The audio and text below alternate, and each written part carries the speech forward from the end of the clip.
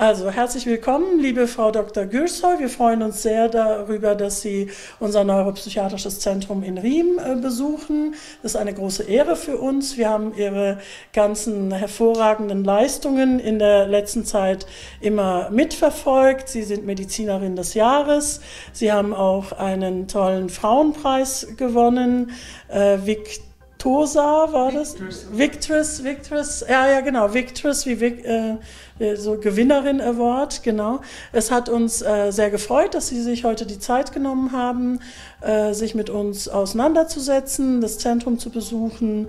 Und jetzt würde ich einfach mal an Sie weitergeben. Sie waren ja jetzt schon, haben einen Rundgang gemacht und äh, dass Sie äh, vielleicht ein bisschen sich selbst nochmal mal ähm, vorstellen und ein bisschen, wenn Sie möchten, was über uns erzählen. Ja, sehr gerne sogar. Ich ähm, bin äh, Frau Gürser, ich bin Herzchirurgin und ich bin jetzt dabei, auch äh, zu planen, ein, ein Kunstzentrum zu gründen. Und umso besser und schöner ist es für mich natürlich, schon ein etabliertes Zentrum zu besuchen, auch wenn es mit meinem Fach vielleicht indirekt nichts zu tun hat, aber di ähm, direkt sicherlich dann schon. Äh, insofern, dass auch unsere Patienten, Herzpatienten sicherlich eine psychologische Präoperativ und Postoperativ unbedingt brauchen, vor allem Kunstherzpatienten. Und es macht mich natürlich auch stolz, dass Sie hier so ein Zentrum aufgebaut haben. Ich will es Ihnen nachmachen und ich hoffe, das funktioniert. Es bedarf natürlich auch äh, vielen Netzwerken und ich danke auch Herrn Niflo, dass er uns heute hier zusammengebracht hat. Und ähm, ich kann mir hier nur viel abgucken und ähm, es ist auch toll, was sich hier für Migranten tun. Das ist auch ähm, eine enorme Leistung, die sie hier aufbringen und ähm, äh, ist nicht jedermanns Sache, äh, auch ähm, äh, ehrenamtlich zu arbeiten, was sie auch hier tun, wie ich das verstanden habe. Und es ist halt schön, auch äh, für diejenigen, die neu kommen in dieses Land, so wie wir und unsere Eltern damals. Wir wissen, wie es sein kann, wie es ist. Und äh, wir müssen halt auch, glaube ich, ähm, unsere Vorbildfunktion erfüllen hier in Deutschland. Das tun wir auch, glaube ich, Sie schon ähm, ein paar Schritte mehr als ich äh, schon vor mir.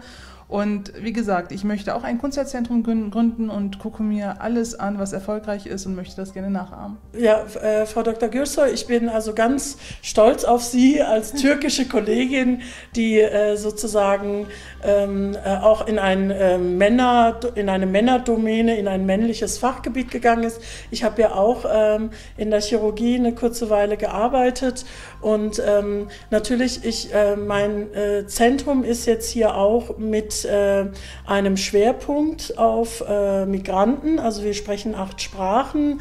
Wir sind offen auch für Menschen aus allen Schichten und mit allen Problemen. Wir haben Neurologie, Psychiatrie, psychosomatische Medizin, Psychotherapie und wir haben eben auch sehr häufig eigentlich auch mit den operativen Fachgebieten zu tun. Wir haben viele Krebspatienten, die nach der Operation zu uns kommen. Wir haben auch viele Herzpatienten, entweder mit Herzneurose oder eben Herz-OP und kommt wieder nicht ins normale Leben zurück. Und dadurch haben wir auch so einen, eigentlich einen ganz guten Anknüpfungspunkt und ich bin äh, wirklich ganz äh, freudig, dass Sie dieses Herzzentrum gründen möchten. Wir werden Sie unterstützen, so gut wir können.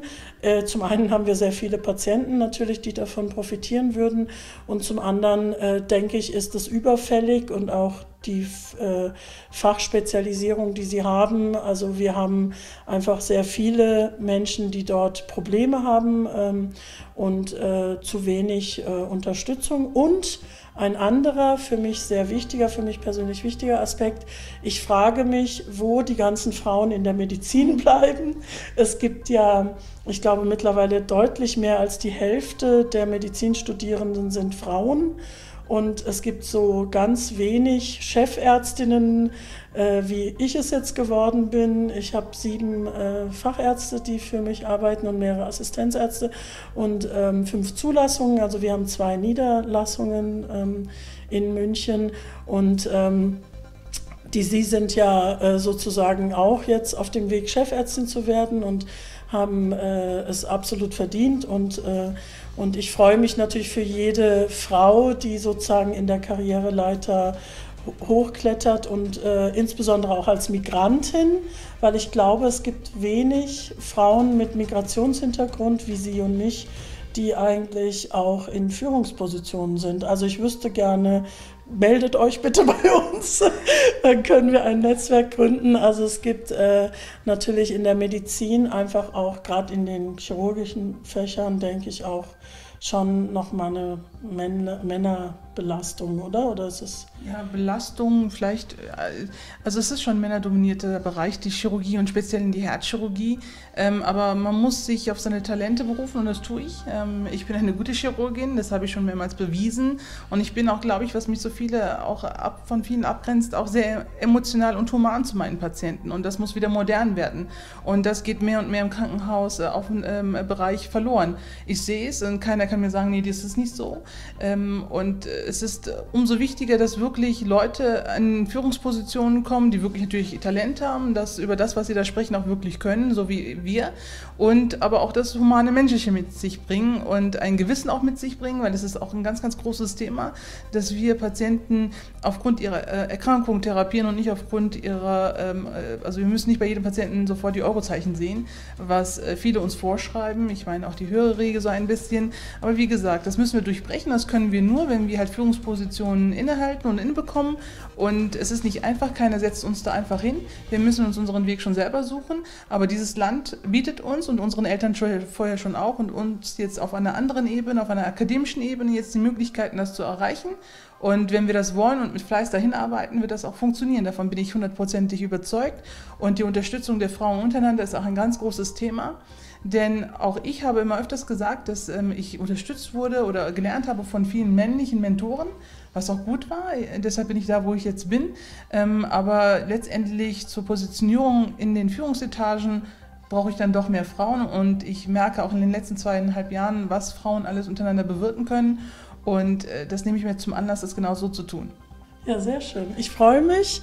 Äh, wir sind immer da zum Austausch, für Unterstützung und äh, wenn wir irgendwas gemacht haben sollten, was ich gar nicht glaube, was Sie noch nicht gemacht haben, dann sind wir natürlich sehr gerne da, um Sie zu unterstützen und freuen uns, wie gesagt, über die äh, Kontaktaufnahme. Ja, ich freue mich auch sehr sogar, weil auch gerade das Thema psychologische Probleme bei Herzpatienten war in den 80ern, 90ern bis in die 2000er irgendwie kein Thema. Und jetzt wird es zum Thema und ist es zum Thema. Und gerade wenn man neue Herzen transplantiert kriegt oder Kunstherzen implantiert kriegt, diese Patienten brauchen die psychologische Betreuung und vor allem die Angehörigen, die natürlich mit im Boot sitzen, ja. mit dem Patienten selber.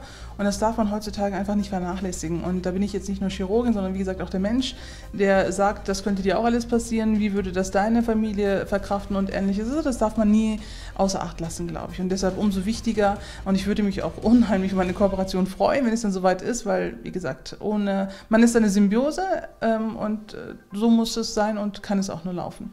Und es gibt ja auch sehr viele Studien darüber. Also ich habe jetzt immer wieder auf unseren Kongressen äh, mir angehört, Studien über Krebspatienten oder alle möglichen chronischen Erkrankungen. Bei uns in der Neurologie haben wir auch Multiple Sklerose-Patienten.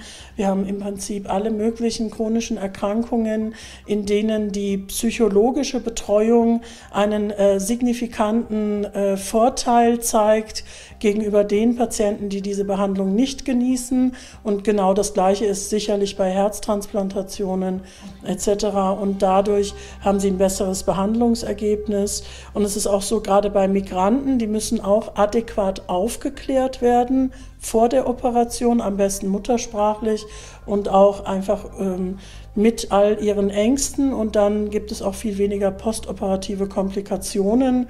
Auch das ist ja wissenschaftlich erwiesen und das ist natürlich toll, wenn Sie da jetzt schon sich Gedanken darüber machen. Das heißt, dass Sie absolut interkulturell kompetent sind und auch ähm, natürlich da auch das ganze psychologische auch sehen als einen wichtigen Erfolgsfaktor. Das ist natürlich von vornherein klar, dass das bei Ihnen perfekt laufen wird. Inshallah sagt man ja bei uns und das hoffe ich natürlich auch sehr, weil wirklich allein schon, wenn die Aufklärung zehn Minuten länger dauert, ist das schon ein Rieseneffekt. Ja. Das wissen vielleicht viele äh, Kollegen nicht oder aufgrund des Zeitdruckes auch, was man jetzt hat, auch hat in den Krankenhäusern. Aber die muss man sich einfach nehmen, wenn man Erfolg haben möchte. Denn jeder Chirurg will eine gute ähm, ähm, Quote haben, sage ich mal am Ende des Tages. Und das ist nicht nur der chirurgische, das chirurgische Handwerk, sondern auch das, das andere. Und das spielt eine enorme Rolle und das sehe ich auch jeden Tag. Und je gut äh, optimiert oder optimistischer Patient in die OP reingeht, umso besser wird auch, verläuft auch die OP. Ähm, ja, ich bedanke mich für Ihren Besuch hier und für die tollen Gespräche und und äh, für die wirklich sehr äh, guten Pläne, die sie haben. Und ähm, Wir sind dabei, also wir haben beschlossen, dass wir sie auf jeden Fall unterstützen werden äh, von, äh, mit unserer Kompetenz und äh, natürlich auch emotional äh, sind wir sehr stolz auf sie und würden äh, gerne sehen, dass das alles Erfolg hat, was sie machen und sind sehr gerne auch bereit zu kooperieren. Und wer weiß, vielleicht sind wir dann auch beteiligt an ihrem äh, Unternehmen, was ja dann in NRW wahrscheinlich stattfinden das, wird. Das macht für mich keinen Unterschied. Klar äh, denkt man erst an NRW, weil ich aus NRW stamme. Ich bin gebürtige Neusserin und ich würde das gerne versuchen, in meinem Heimatbundesland unterzubringen, aber äh, ich sehe das auch ein bisschen geschäftlich und ähm, es, der Laden muss ja in irgendeiner Form laufen. Ich möchte, dass es eine gute Umgebung für unsere Patienten auch ist und ähm, ich sage immer, da es wird sich, das Schicksal entscheidet. Es kann auch in Bayern sein. Oh, und, das wäre äh, natürlich für uns das Allerbeste. Dann müssen wir jetzt alles tun, um sie zu uns nach Bayern zu holen. Das wäre natürlich das Beste, weil ja hier, glaube ich, auch definitiv ganz äh, wichtige Kooperationspartner schon sind und auch äh, Möglichkeiten sind und äh, sicherlich das Klientel sowieso schon händeringend sucht und wartet auf äh, kompetente äh, medizinische Versorgung. Also nochmal herzlichen Dank und bis auf weiteres. Ich danke Ihnen. Vielen herzlichen Dank.